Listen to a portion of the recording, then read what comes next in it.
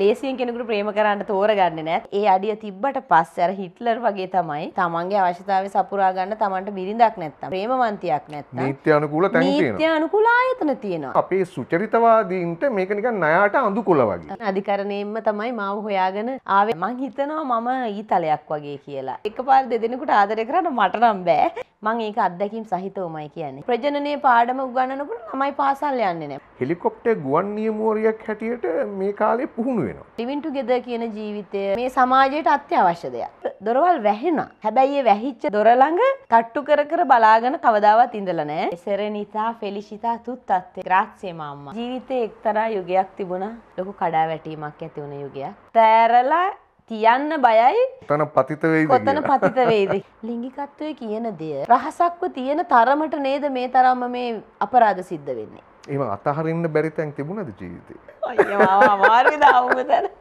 මට දැන මගේ ඇඟට නිකං භාෂාවන් ඉගෙන ගැනීමේ හැකියාවක් තියෙනවා කියලා. කෙනෙකුට මාව වට්ටන්න පුළුවන් එකම තැන තමයි ආදරය ප්‍රේමය. නාපෝලි කියන නගර ඊසා බලපත්‍ර රහිත රැඳී සිටින්නේ ශ්‍රී ලාංකිකයෝ. ඔබ ජීවිතේ විඳින විදිහද ඒ? ඔබ ජීවිතේ දකින විදිහද ඒ? And Beyond ජනක කුඹුකගේ සමග සැරිසරව. ප්‍රිය මිතුරු මිතුරියනි කාන්තාවකට තියෙන්න ඕනේ ශක්තිමත් පෞරුෂයක්. ඒ වගේම ඉදිරිගාමී දැක්මක්. අන්තිම අඩියට වැටුණත් බින්දුවටම ඇදගෙන වැටුණත් නැවත නැගිටින්න පුළුවන් වෙන විදිහේ ශක්තියක්, ධෛර්යයක්. අන්න ඒ වගේ ධෛර්ය සම්පන්න කාන්තාවක් එක්ක තමයි අද අපේ කතා බහ. එhmenan අපි හඳුනා ගනිමු මේ රූසරණී සේනාතිලක මහත්මිය. අයිවන් රූසරණී. අයිවන් හක් බොහොම ආදරයෙන් ගෞරවයෙන් සහ සෙනෙහසින් යුක්තව ලයින්සන් බියොන් රසික කුලකේ වෙනුවෙන් ඔබ පිළිගන්නවා. ඉතාලියේ ඔබ ජීවත් වෙන්නේ. ඉතාලියට ගිහිල්ලා කොච්චර කාලයක් වෙනවද? මම දැන් වසර දාහතක් පමණ ස්තිර පදිංචිය ඉතාලිය තමයි ඒ කාලේ දැන් කියන්නේ වසර 17කට කලින් රූසරණට හිතුණද මේ ලංකාවේ ජීවත් වීම ඊතරම් සුදුසු නැහැ මේ මිනිස් සුබ සාධනය සහිත රටක් බවට මේක පරිවර්තනය වෙන්නේ නැහැ කියන නිකන් එහෙම අවිනිශ්චිත ස්වභාවයක් නිසාද ඔයාගේ ස්ථිර පදිංචියට ඉතාලිය තෝරගත්තේ. ඇත්තටම ජනකයියා මම දෙදස් පහේ වසරේ ඉතාලියට යන කාලේ අද වර්තමානය ලංකාවේ තියෙන කඩාවැටීමක් තිබුණෙ නෑ. ඉතිං ඒ කාලෙ මට හිතුනෙ නෑ මම යන්න ඕනි මේ රටේ අනාගතය කඩා බිඳ වැටෙයි කියන බලාපොරොත්තුවක්. ඒ නිසා යනවා කියන හැඟීමක් ඇත්තට මට තිබුණෙ නෑ. මහ නමුත් පුද්ගලිකව මාගේ සංවර්ධනයක් අවශ්‍යයි. කියන මූල්‍ය මේ පැත්තන මේ මම කියන්නේ. අම්, මේ අපේ රටට සාපේක්ෂව ඇත්තටම දියුණු රටකට ගිහිල්ලා ඒ දියුණු රටේ අධ්‍යයනය කරන්න මම ඉගෙනගෙන නැති දෙයක් ඉගෙන ගන්න. එතකොට ඒ තුළින් තව ස- පුද්ගලමය විතරක් නෙමෙයි මටත් මගේ රටේ ම- මට කළ හැකි සේවයක් තියෙනවා නම් යම් කිසි. ඒ සේවය කරමින් මගේ රටට සංවර්ධනයක් ඉටු කරලා දෙන්න වක්‍රෝර්තියෙන් හෝ පුළුවන් වේවී කියන හැඟීම සහ මට ඒ- ඒ පිළිබඳ මට මං ගැන ශක්තියක් තිබුණා ආත්ම ආත්ම විශ්වාසයක් තිබුණා මට යමක් මං ගිහින් පාරක ගිහිල්ලා ඒ පාරෙන් මං ජයග්‍රහණයක් ලබලා මගේ රටේ තවත් කීප දෙනෙකුට හෝ ඒ ජයග්‍රහණය ලබලා දෙන්න පුළුවන් වේවි සේවය ලබලා දෙන්න පුළුවන් වේවි කියන පරමාර්ථය නම් තිබුණා. අපේ ලංකාවට සාපේක්ෂව තාක්ෂණයෙන් ගොඩක් දියුණුයි ඒ රටවල්. ඒ වකට තිබුණු අ, වාතාවරණය අනුව ඇත්තටම අපිට වඩා ඒගොල්ලෝ සැතපුම් ගණනාවක් ඉදිරියෙන් යමක් ගැන චින්තන ශක්තිය පවා ඒගොල්ලොන්ගේ දියුණුයි.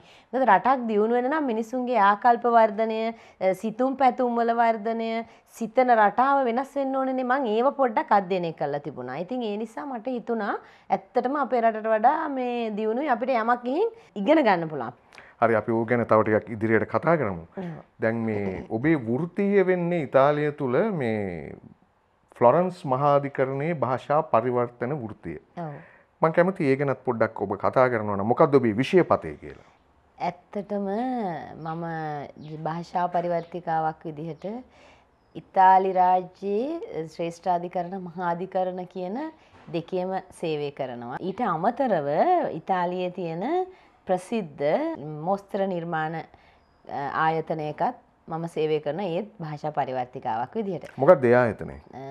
කලබ් වෝල්ට ෆැෂන් ඩිසයින් ලෝකේ හැම රටකම වගේ ඔවුන්ගේ මිලදී ගැනීම් සිද්ධ වෙනවා එතකොට ඒන ගැනුම්කරුවන්ට හැම කෙනාටම ඉතාලි භාෂාව බැහැ. එතකොට මගේ කාර්යය තමයි ඕන් ඉංග්‍රීසි භාෂාවෙන් අහන දේ ඉතාලි භාෂාවට පරිවර්තනය කරනවා. ඉතාලි භාෂාවෙන් පරිවර්තනය වෙන දේ ඉංග්‍රීසි භාෂාවට පරිවර්තනය වෙනවා. මට තිබුණු ආසාව සහ උනන්දුව භාෂාව ඉගෙන ගැනීමේ ආසාව සහ උනන්දුව මත මම හිතන්නේ පාසල් අධ්‍යාපන කාලේ ඉඳලම මම විවිධ භාෂාවන් ඉගෙන ගැනීමට බොහොම ආසාවක් ඇල්මක් දැක්වුවා සහ මගේ මට දැනෙනවා මගේ ඇඟට නිකන් භාෂාවන් ඉගෙන ගැනීමේ හැකියාවක් තියෙනවා කියලා. මොකද ඔබේ පාසල මම මුලින්ම පාසල් අධ්‍යාපනය ලබන්නේ බාලාංශ පන්තියේ ඉඳලා කෑගල්ල බෝයගම ශ්‍රී පරාක්‍රම බහු මහාවිද්‍යාලයේ සාමාන්‍ය පෙළ දක්වා සාමාන්‍ය පෙළ සමත් වෙලා කෑගල්ල රඹුක්කන පින්නර ජාතික පාසලෙන් තමයි මම උසස් පෙළ විද්‍යා ගණිත අංශයෙන් ඉගෙනුම ලැබුවේ ශ්‍රී ලංකා රජයේ සහ ඉතාලි රජයේ ව්‍යාපෘතියකට අනුව ඉතාලි භාෂාව පිළිබඳව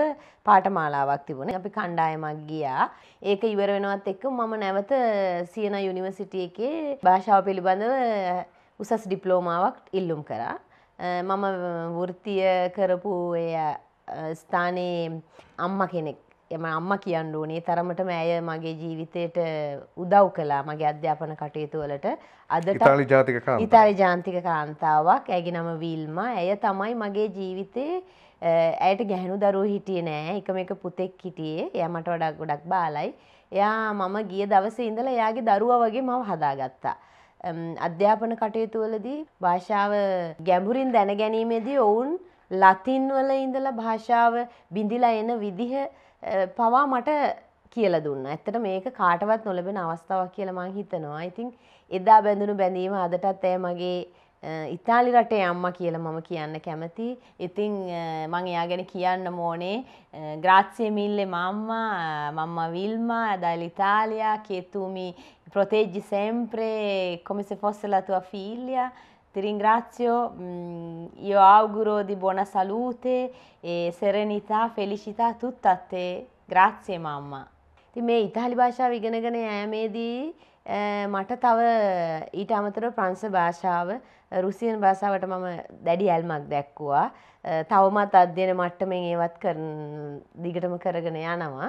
ඒ අතරතුර ඉතාලිය ෆ්ලෝරන්ස් නගරේ සිංහල ඉංග්‍රීසි ඉතාලි කියන භාෂා පරිවර්තක පුරප්පාඩුවක් තියෙනවා. මේ පුරප්පාඩුවට අපේ නඩු වසර ගණනාවක් ඇදී ඇදී යනවා සිංහල ඉතාලි භාෂා පරිවර්තිකාවක් නෑ කියලා.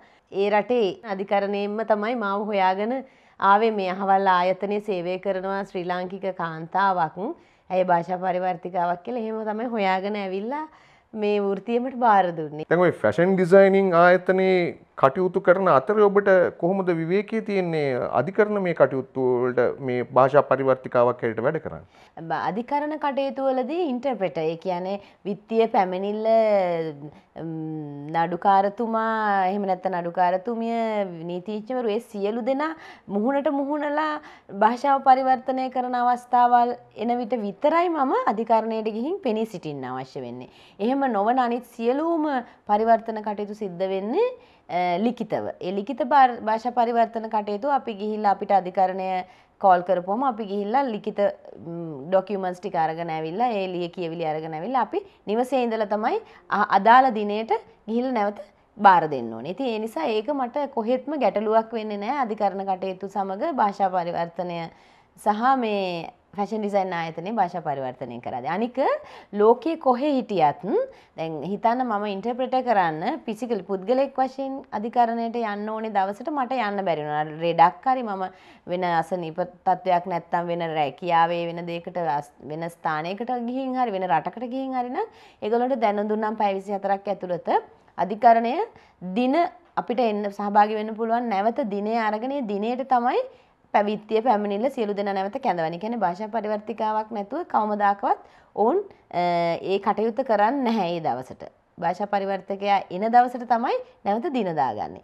ඒ වගේ පහසුවකුත් මට තිබිලා තියෙනවා. හැබැයි ඉතින් මම ඒ වෘත්තිය කවදාවත් පැහැර හැරලා නැහැ. මම ඉතාමත් භක්තියෙන් කරන වෘත්තියක්.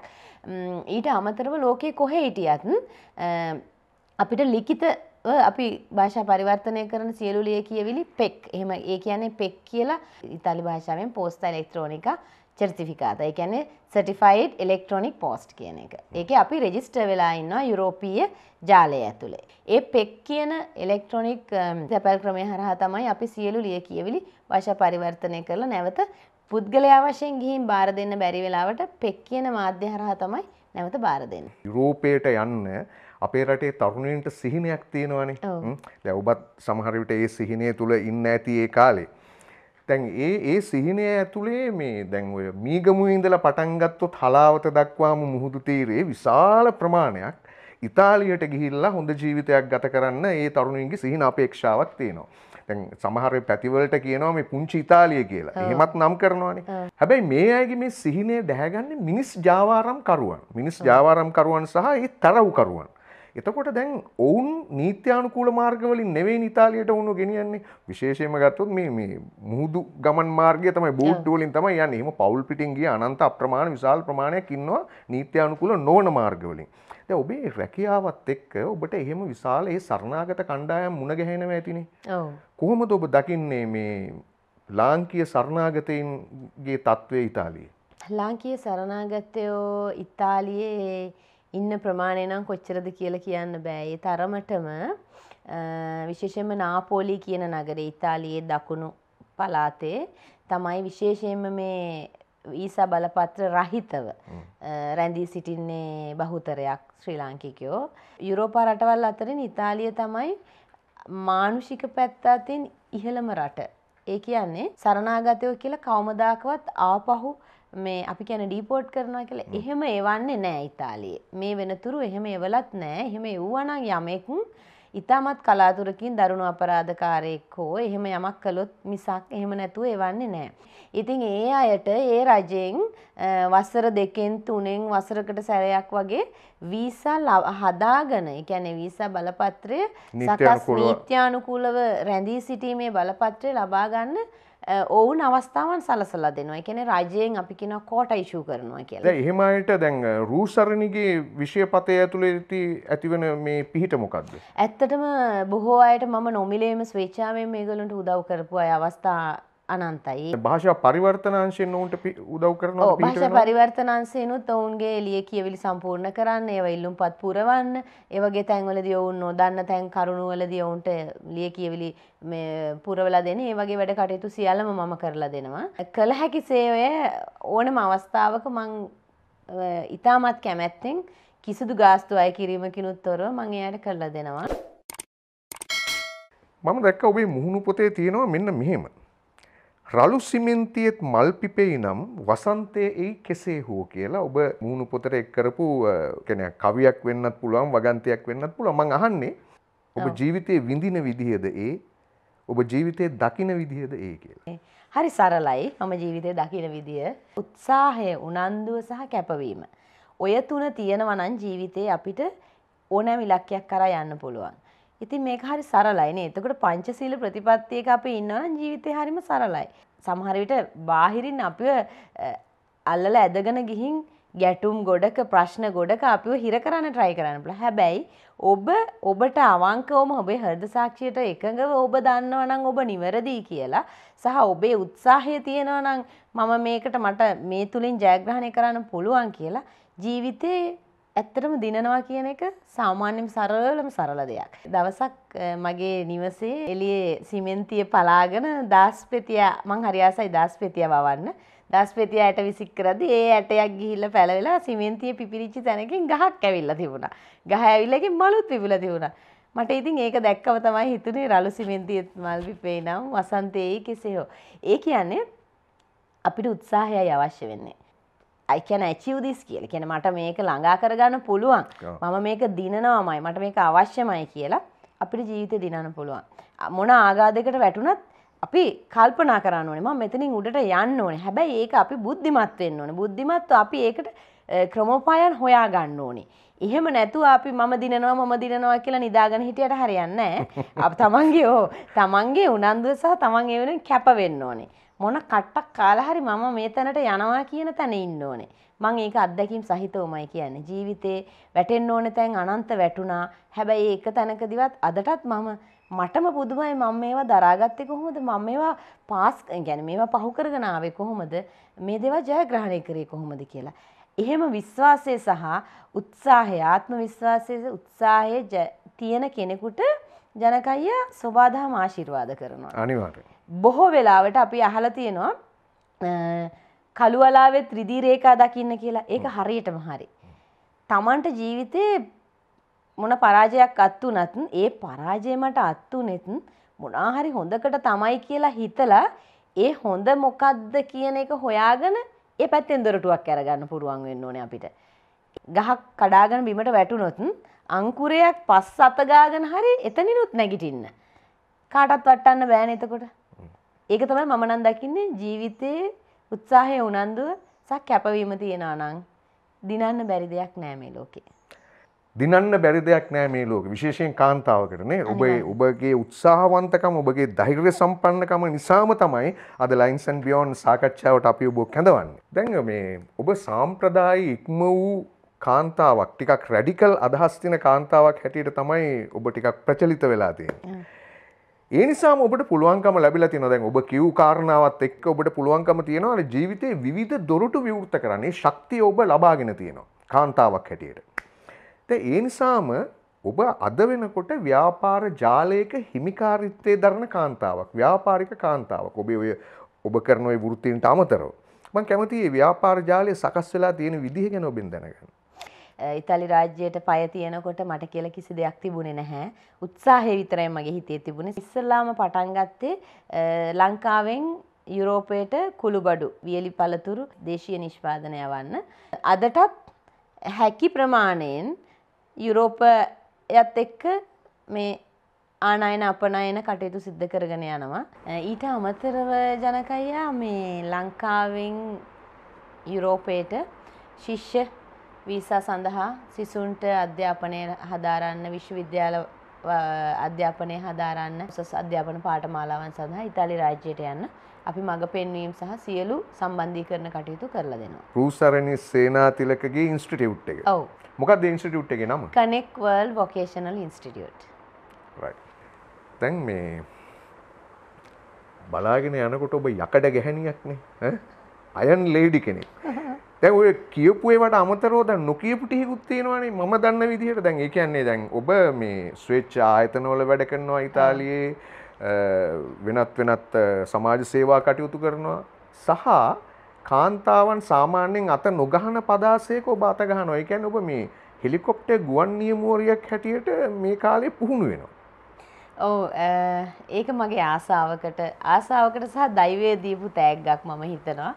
ජීවිතේ එක්තරා යුගයක් තිබුණා පුද්ගලික ජීවිතේ මගේ ගැන පර්සනල් ලයිෆ් එකේ ලොකු කඩාවැටීමක් ඇති වුණ යුගයක්.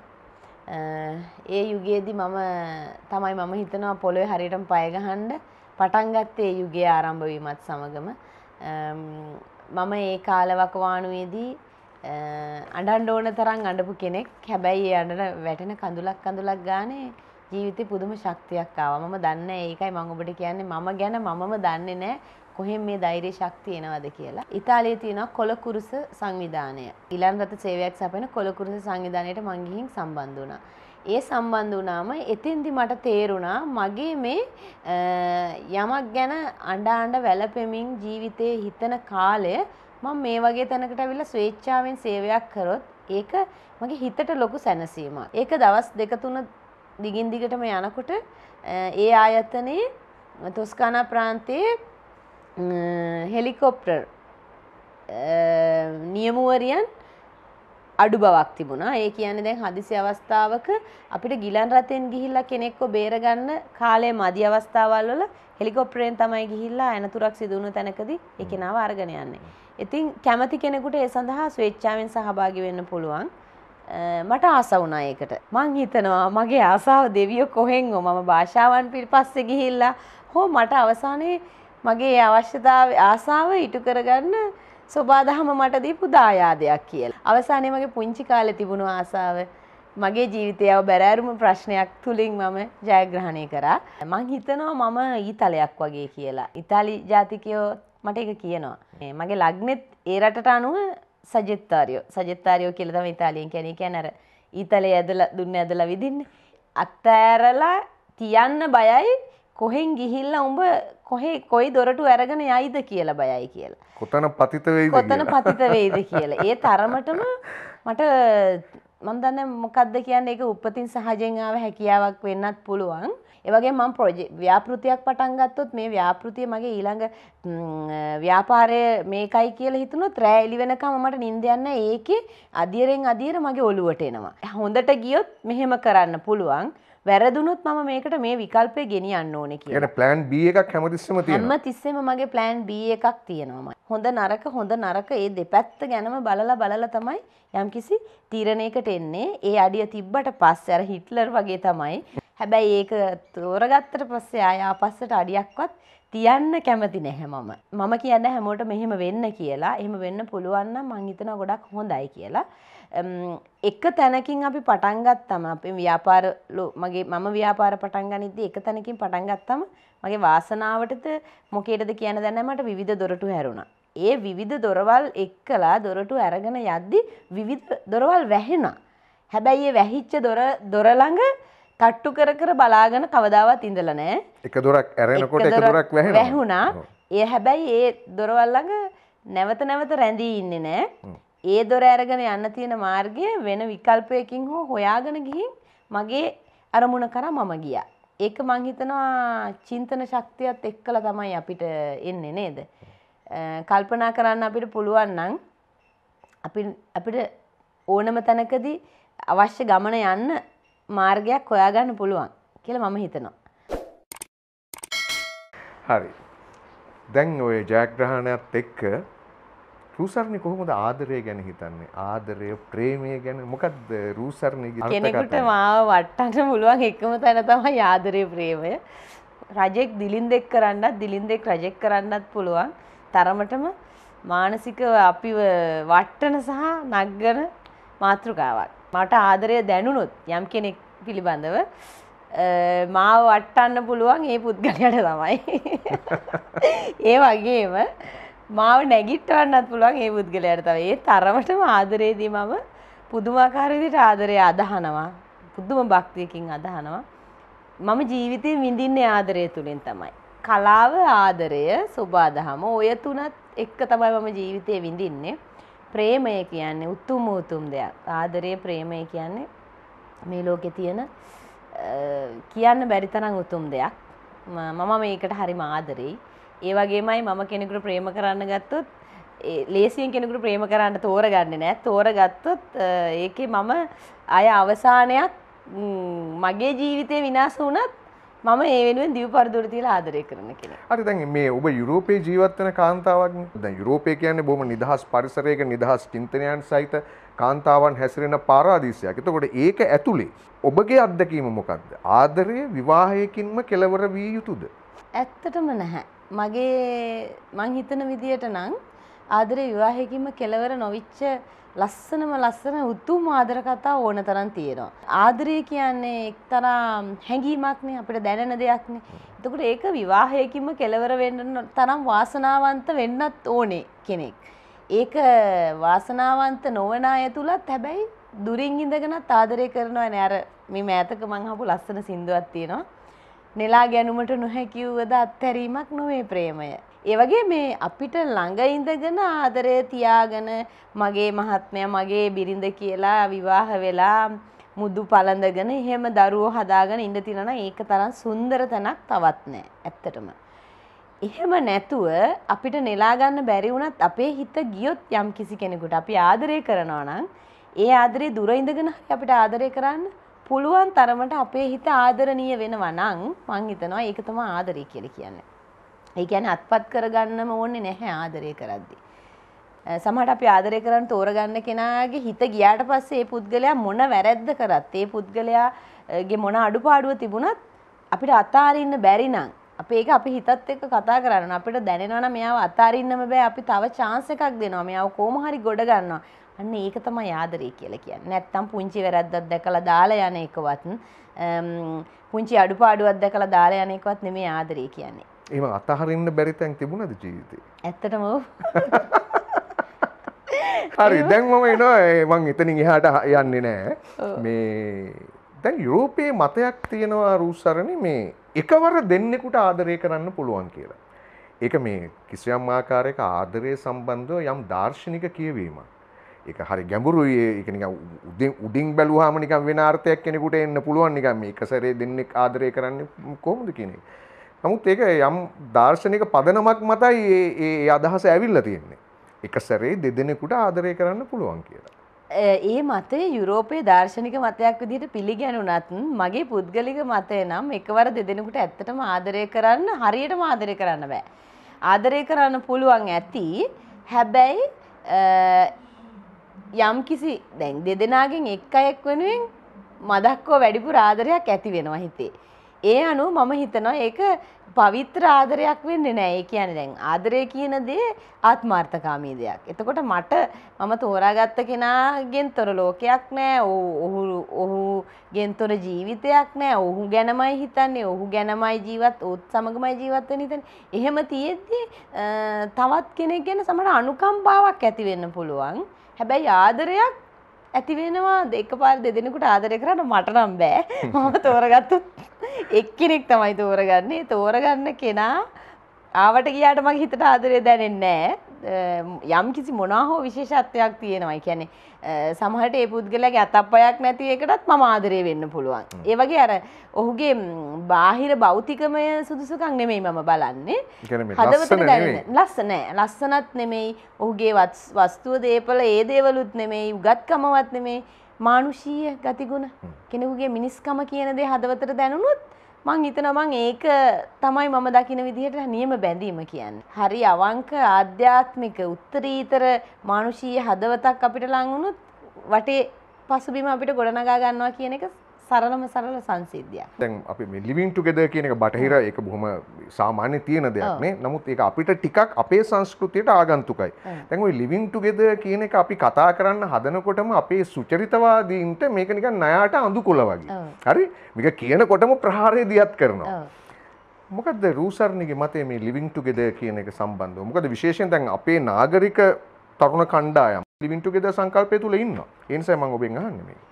සහ ඔබට මේ ගැන හොඳම අත්දැකීම් සම්භාරයක් ඇතිනේ ශ්‍රී ලංකාව තුළ ලිවින් ටුගෙදර් කියන එකට එක එක්ක ජීවත් වීම විවාහයකින් තොරව දෙදෙනෙක් එක්ව එක වහලක් යට ජීවත් වීම වර්තමානයේ ප්‍රචලිතව ව්‍යාප්ත වෙනවා නාගරිකව. හැබැයි මම හිතනවා මේක ග්‍රාමීයවත් සිදු වෙනවා නම් හොඳයි කියලා. මොකද ඒක ඇත්තටම කිසි වරදක් නැහැ. අද බලන්න අධිකරණයකට ගියාම දික්කසාද නඩු. දික්කසාද වෙන්න හේතු මොනවද?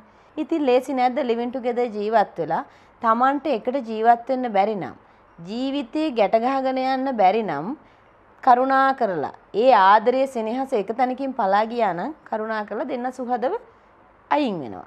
එතකොට කාටවත් හානියක් නැහැ. හැබැයි ග්‍රාමීයව මේක මහා ලොකු නින්දාවක් මහා ලොකු අවනම්බුවක් විදිහට ගන්නවා. ඊට වඩා නින්දාවක් අවනම්බුවක් නෙවෙයිද මිනිස්සු කුලල් කාගෙන එක ගේ ඇතුළේ මිනි මරාගෙන ගහගෙන ගුටි බැට දීගෙන ලිංගිකව දෙදෙනාට දෙදෙනා ගැලපෙන්නේ නැත්නම් අල්ලපු ගෙවල් වලට ගිහිල්ලා වෙන වෙන ලිංගික සම්බන්ධතා තියාගෙන සමහර දරුවෝ ඉන්නවා දරුවන්ට පාරේ බහලා යන්න බෑ. මේිට වඩා බුද්ධිමත් නැද්ද ඇත්තටම? තරුණ යුවලා.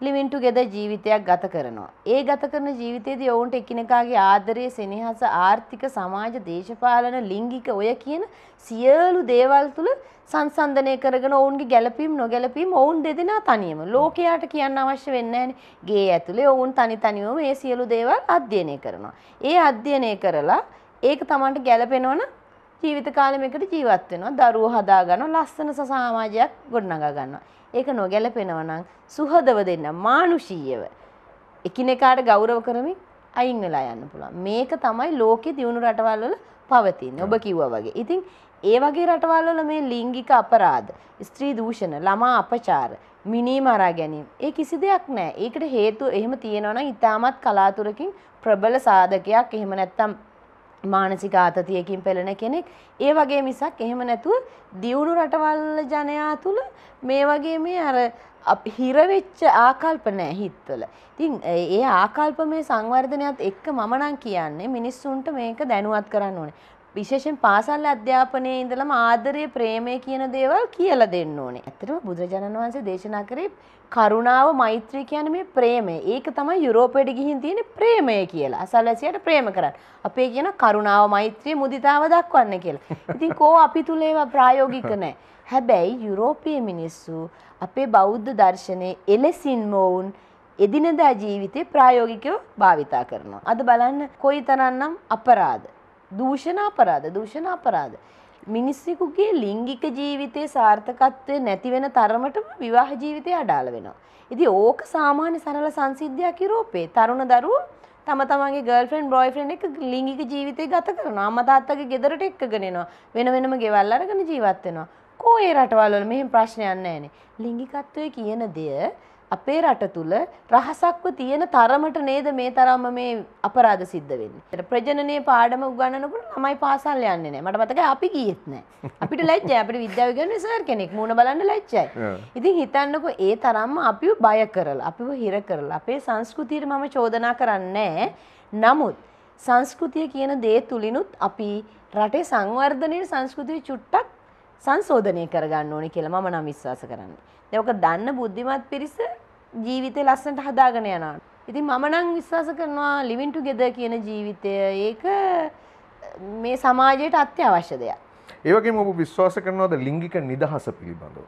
ඇත්තටම ඇත්තටම මිනිස්සෙකුට ලිංගික නිදහස කියන දේ අත්‍යවශ්‍යම දෙයක්. සෝබාදහමෙන් සත්වයාට සහ මිනිසාට ලිංගික අවශ්‍යතාවයන් ලිංගික අවයව දීලා තියෙන්නේ ඒවා අපේ ජීවිතයට අවශ්‍ය දේවල්.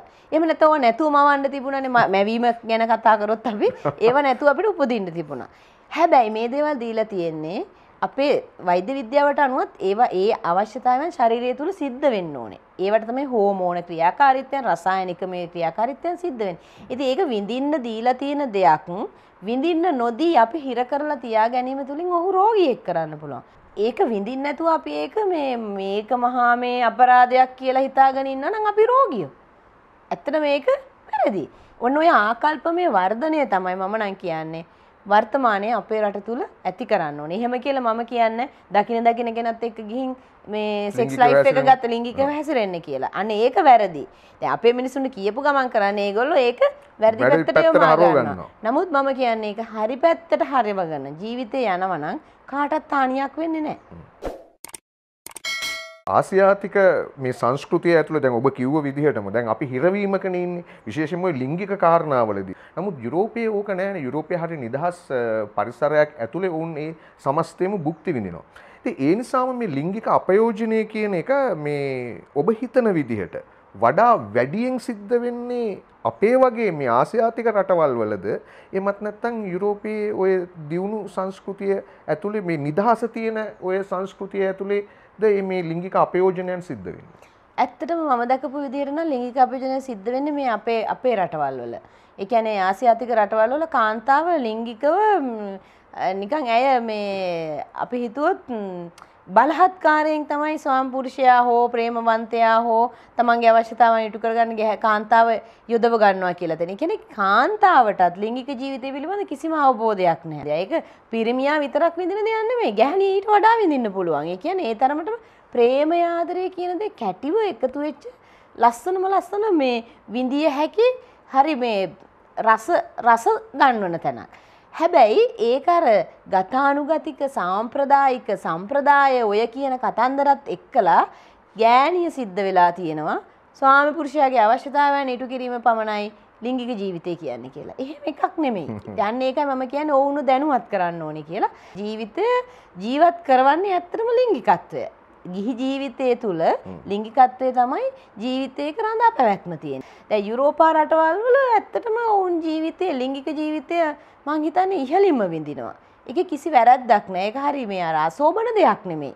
ඒක ජීවිතයේ ඕන් රසයක් සොයා ගැනීම. ජීවිතය ජීවත් කරවන්නේ ඇත්තටම ලිංගිකත්වය. ගිහි ජීවිතය තුළ ලිංගිකත්වය තමයි ජීවිතයක රඳා පැවැත්ම තියෙන්නේ. පවුලක රඳා පැවැත්ම තියෙන්නේ. ඒක නැත්තම් දරුවෝ බිහි වෙන්නේ. පරම්පරා බිහි වෙන්නේ නැහැ. ඉතින් ඒක ඔවුන් එක විඳමින් විඳිමින් ජීවිතය රස විඳිනවා. දැන් අපේ වෙලා තියෙන්නේ ඒක විඳවමින් ජීවිතේ එක්තරා පාර්ශවයක් විඳවමින් ජීවිතෙත් විඳවනවා. ඉතින් ඇත්තටම බලන්නකෝ දැන් එක්තරා ලෝකයේ එක්තරා කොටසක දිව්‍ය ලෝකයක් හා සමානව මිනිස්සු විඳිනවා එකම සම්පත් එක්තරා කොටසක මහා නිරයක් වගේ ජීවිතය විඳවනවා. ඒත් ඔතන තියෙන්නේ මිනිසුන්ගේ නොදැනුවත්කම. ආකල්පමය වර්ධනයක් නැතිකම. ඒ වගේම අයියේ ඔය ඇහුවනේ දැන් අර අපයෝජනය පිළිබඳව ඇත්තටම අපයෝජනය ඔය මිනිස්සුන්ට ලිංගික නිදහස නැතිකම නිසා සහ මිනිසු ලැජ්ජාව නිසා හිත ඇතුළේ හැඟීම් හිර කරගෙන ඉන්න නිසා ඔවුන් කරන්නේ තමන්ට ලිංගික අවශ්‍යතාවන් ඉටු කරගන්න පුළුවන් පහසුම මාර්ගය හොයාගෙන යනවා. ආසියාතික රටවල් එකට පහසුම මාර්ගය තමයි කුඩා දරුවෝ. පුංචි දරුවෝ, ගැහැණු දරුවෝ, පිරිමි දරුවෝ කියලා වෙනසක් නැහැ. හැබැයි මේක විදේශීය රටවල් වල මෙහෙම බහුලව දකින්නේ ඒ කියන්නේ ඔවුන්ට විදේශී රටවල් වල අයට ලිංගික නිදහස තියෙනවා. තමන්ගේ අවශ්‍යතාවය සපුරා ගන්න තමන්ට බිරිඳක් නැත්තම් ප්‍රේමවන්තියක් නැත්තම් නීත්‍ය අනුකූල තැන් නීත්‍ය තියෙනවා. අනුකූල ආයතන තියෙනවා. ඒ ආයතනයකට ගියා ඔවුන්ගේ අවශ්‍යතාවය සපුරගෙන ආවා. හැබැයි ලංකාව තුල ඒක නොතිබෙන තාක්කල් ඔවුන් ඒ මොහොතේදී ඔවුන් දන්නේ ඔවුන් කරන කියන ඔවුන් ගිහින් කුඩා දරුවෝ අපයෝජනයට පත් කරනවා. වයසක අම්මලා අපයෝජනයට පත් කරනවා. මේ ළමා අපචාර ළමා අපයෝජනය තමයි අද කාලේ ආසියාතික රටවල් වල ඉතාම ශීඝ්‍රයෙන් ඉහළ යන්නේ. මේක සම්පූර්ණම මේකට හේතුව වෙලා තියෙන මිනිසුන්ට ලිංගික නිදහස නැතිකම. මම දැන් ඔබ තව පොඩි වෙන තැනකට යන එකගෙන යනවා මොකද එහෙම එකගෙන නොගියොත් මේ වැඩසටහන මේ අ, සම්පූර්ණ වෙන්නේ නැහැ. ඔබේ සාහිත්‍ය රසවින්දනය පිළිබඳව කතා නොකරම මට මේ වැඩසටහන අවසන් කරන්න බෑ. ඔබ ගීත ගණනාවක් ලියලා තියෙනවා. ලංකාවේ ඉන්න ජනප්‍රියම ගායකයෝ ඉතා විශිෂ්ට ගායකයෝ ඔබ ලියපු ගීත ගායනා කරලා තියෙනවා. මේ මෑතක ඔබ මේ ලියනවා ගීයක් අ, සරා සඳළඟ මුනිවතම රකිනා අමාවක කළුවරට පෙම් බඳිනා නුරාගික නැති පෙම් කතාවක පරාජිත වූ ප්‍රේමයයි මම සදා නුඹටම සෙනේ සිත පුදනා. දැන් මේ මෙච්චර වැඩ කරන රූසරණිට කොහොමද කාලය හදාගන්නේ මේ සාහිත්‍ය රසවින්දනයට? සාහිත්‍ය රසවින්දනයට කාලය නම් මට කොයිතරම් කාර්යබහුල මොහොතක වුණත් මගේ ඔළුවට අදහසක් ආවොත් මම ඒකත් ඔස්- ඒක ඔස්සේ අ, පුදුම විදිහට ඒක රස විඳිනවා. බොහෝ වෙලාවල් වලදී අ, රැකියාවට අමතරව ව්‍යාපාරවලට අමතරව තප්පරයක් හෝ ගත වෙනවා නම් කටින් සින්දුවක් කියවෙනවාමයි මිමිනෙනවාමයි. කලාව මගේ ඇඟ අස්සේ කොහේ හරි ඉඳලා ටක් ගාලා මාව තට්ටුවක් දාලා එළියට ගන්නවා. මේ එතකොට මට අර ලොකු ස්ට්‍රෙස් ආතතියකින් හිටියත් මොනාහරි දෙයක් පිළිබඳව ලොකු කල්පනාවක හිටියත් සින්දුවක මතකයක් හරි කලාත්මක දෙයක් හරි ආවත් මම ඒ අරක හිතලා ඒක ගැන විඳලා තමයි අනිත් පැත්තට යන්නේ. ඒ කියන්නේ ස්ට්‍රෙස් වලින් මිදෙන්න හොඳ මාර්ගයක් තමයි සාහිත්‍ය සහ කලාව. අනිවාර්යයෙන්ම අනිවාර්යයෙන්. ජීවිතයේ කලාව කියන දේ නැත්තම් මිනිස්සු මොනතරම් ආවේගශීලී වෙනවද? මොනතරම් මිනිස්සු පරිහානියට යනවද? මේ කලාව එක වචන දෙකක් ලස්සන මధుර ස්වරයක් මధుර තනුවක් මధుර පදවලක් අපේ ජීවිතේ කොයිතරම්නම් වෙනස් කරනවද? ඒ මధుර ස්වරයෙන් ගීයක් නිකන් පොඩි වචන කීපයක් මුමුණන්න පුළුවන්ද? අමාරුයි දාමුම තැන. ස්වරේ නම් මధుර නෑ මගේ. පුංචි වචන ටිකක් කියන්නම්.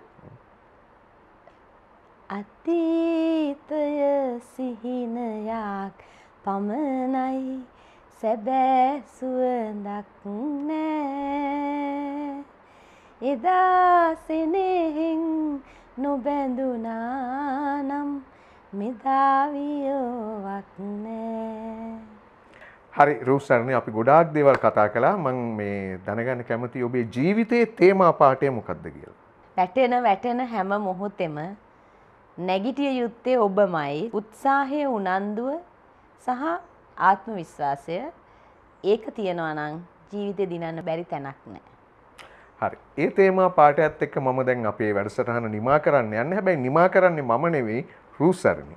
ඔබට ඔබේ ජීවිතයට සරිලන තැනකින් උපුටනයක් අරගෙන ඒ උපුටනය හරහා අද මේ වැඩසටහන නිමා කරන්න කියලා මම ඔබට ආරාධනා කරනවා. ඒ වගේම මම ස්තුතිවන්ත වෙනවා කෙටි කාලයකට ලංකාවට ඇවිල්ලා මේ ඔබේ වටිනා කාලය කැප කරලා ඔබ අධික වැඩ කටයුතු රාශියක් මැද්දේ ඉන්න බව මම දන්නවා. ඒ ඒ අතරේ පවා අපිට මේ ලයින්ස් ඇන්ඩ් බියොන්ඩ් රසික කුලකයේ වෙනුවෙන් මේ කාලය වෙන් කර ගැනීම සම්බන්ධව මම මම ඔබට අතිශය ස්තුතිවන්ත වෙනවා. ජයන් ජය වේවාම කියලා සුබ පතනවා. බොහෝමත්ම ස්තුතියි ආදරණීය ජනකයියා මාව මේ වගේ අවස්ථාවකට සම්බන්ධ කරගත්ත එක ගැන සිහිනයක් ඔබ වගේ කෙනෙක් එක්ක ඔබ වගේ ප්‍රවීණ කෙනෙක් එක්ක මේ වගේ විදිහට වචන හරඹයක් හරි යොදා ගන්න හම්බ වෙච්ච එක ගැන මම දසදහස් වාරයක් ඔබට ගෞරවනීයව ස්තුති කරනවා. ඇත්තටම කිව්වොත් ජනකයියා මගේ ජීවිතේ මං හැමතිස්සෙම විශ්වාස කරන දෙයක් තමයි ධම්මෝ භවේ රක්කති ධම්මචාරේ. ඒ කියන්නේ ධර්මය අපි හැසිරෙනවා නම් ධර්මය අපිව රකිනවා. ඒකට ඉතාලි භාෂාවෙන් ඒහා සමානවම කිව්වොත් quello che tu semini tu raccogli. ඒ කියන්නේ ඔයා විසික් කරන ඉසින බීජයේ ඵල තමයි ඔයා කවදා හරි භුක්ති විඳින්නේ. භුක්ති විඳින්නේ. එමනම් බොහොම ස්තුතියි ජයෙන් ජයම වේවා. අයිබෝන්. ආයුබෝවන්. Lions and Beyond ජනක කුඹුකගේ සමග සැරිසරමු.